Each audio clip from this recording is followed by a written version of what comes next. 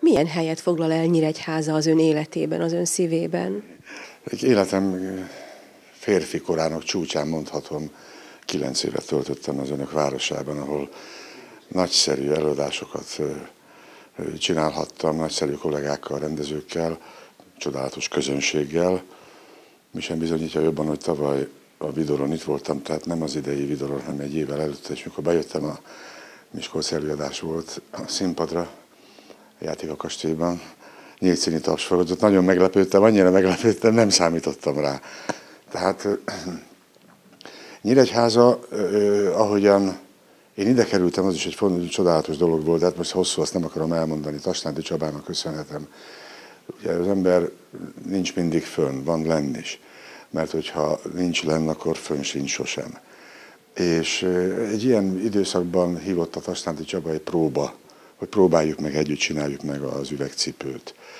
Kilenc év lett belőle, úgy sikerült a próba. Tehát én ezzel elmondtam mindent Nyíregyházáról. Nagyszerű kollégák, barátok vannak, jó művészek, csodálatos a város, nagyon szépen fejlődik, most autóztam egy kicsit hamarabb, érkeztem körbe.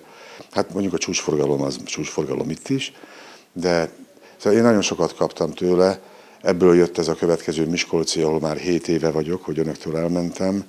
Ezt is Nyíregyházától kaptam, hiszen itt találkoztam azokkal az emberekkel, akik engem hívtak oda.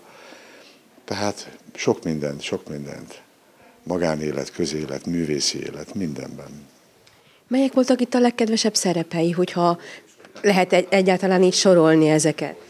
Júj, most itt hirtelen nagyon nehéz kiválasztani, mert uh, itt uh, töltött kilenc évem minden évadában volt egy, de legalább kettő, amit nagyon szerettem.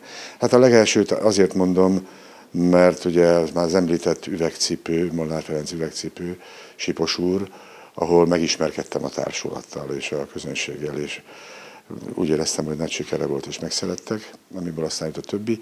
Hát aztán itt a Lér király Gloucestertől kezdve, Biderman gyújtogató, akkor, akkor a Csárdás királynő Feri bácsi, a, akkor, akkor a, a, szóval most hirtelen nem is jut eszembe több. De már ez is, ez is ezek mind olyan, számomra olyan emlékezetes előadások, remélem a néző számára is, ami egy életre meghatározó és meghatározóak a filmek is az ön életében. Mennyire állnak közel önhöz a filmek? Nem tudom, hogy tudják-e, de én 45 éves koromban kezdtem el forgatni, most 62 leszek. Tehát nem olyan sok ideje. Igazából férfi korom csúcsán kerültem a, a filmszakmába, talán így is volt jó mint a jó pálinka, sokáig értem, és így, így eltalált, és hát sikerült jól megoldanom az első feladatokat, amiből aztán jött az összes többi. A filmszínészet, a filmgyártás nagyon-nagyon jó, jó dolog csinálni, fárasztó. Természetesen ott is a cél, hogy az ember embert ábrázoljon a színész, más eszközökkel, más körülmények között a filmezéstől sokat kaptam, visszaadott a színpadi létezésemre is.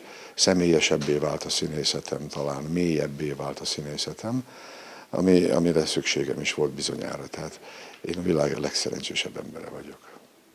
És azt hiszem, hogy a nézők is szerencsések lesznek, mert hamarosan egy új sorozatban, a Béres Józsefről szóló sorozatban láthatjuk majd. Erről el lehet árulni már valamit? Pár napon belül kezdődik. Igen.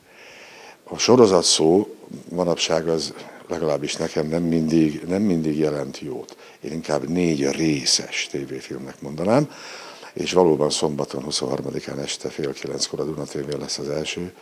Bevallom, tegnap éjjel megkaptam e-mailbe az egész négy részt, és megnéztem, nem bírtam ki. Hát mondhatom, hogy, hogy itt, főleg itt a nyílségben, ahol Béres József otthonosan mozgott, Kisvárda, Nyíregyháza, ez az ő világa, óriási megtiszteltetés, hogy erre fölkértek. Nem is castingoltam. Egyből azt mondták, hogy te vagy az, mert úgy látjuk. Tehát erre mondtam azt, hogy én szerencsés vagyok, mert megértem valamire.